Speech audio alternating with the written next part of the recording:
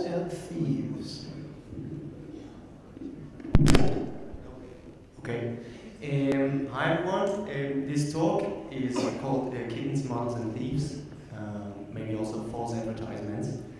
Um, so let's say I would like to start up, uh, to have a startup. I would, uh, let's say, buy a domain called kittens.com and I have a business plan. My business plan is, well, let's publish good cat pictures. And then I'm going to put ads on the cat content, right? And I'll be rich. This is essentially the business model that uh, Facebook is following as far as I'm concerned. Um, so, okay, what do I have to do if I want to put this into practice? Um, first of all, I need to have good cat content, right? So I need to have good pictures. Um, let's say this is a good picture. Right? I, mean, I guess we can all agree this looks cute, you know, I put some, some little uh, advertisement below it, maybe people click on it, that's a great idea. If I take this, where's my money to come from, right? So, yeah, somehow I need to generate good content, and uh, yeah, how am I going to do this? As you all know, the internet is just full of these cat pictures. So how am I going to find the good ones? How am I going to find the bad ones? And we all know uh, machine learning can solve the problem for me.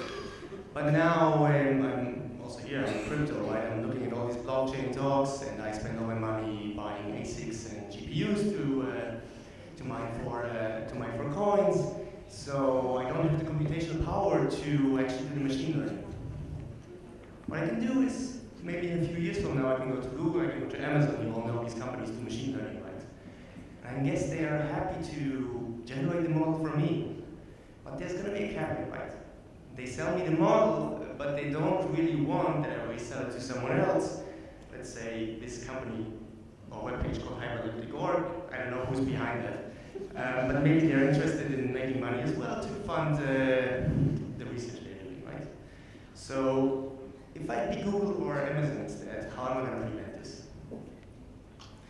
Um, this is uh, joint work with people from Bar Ilan and Facebook. Uh, the paper is on watermarking neural networks. It's a uh, work that uh, allows to uh, watermark uh, these networks that are for classification talks, tasks, which is what most people use them for nowadays. And it's a generic technique. Um, it comes with a thorough practical analysis of attacks, essentially everything you could can, uh, come up with.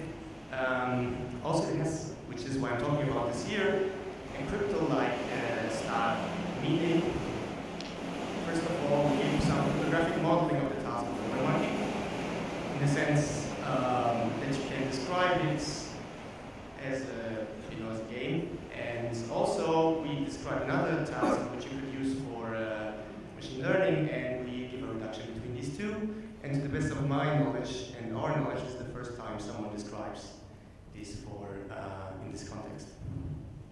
As I said, uh, the paper uh, is called Turning Your Weakness into Strength, watermarks, uh, watermarking neural networks and backdooring. It's joint work with uh, Yossi Adi, uh, Yossi Keshet and Benny Pinkas from Bar Ilan, and uh, Moustapha Cisse from Facebook.